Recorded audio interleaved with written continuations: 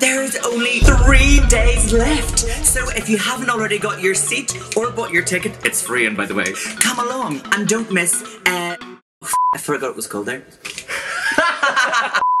Shine Bright starts in Maverick Bar. See you soon, kids.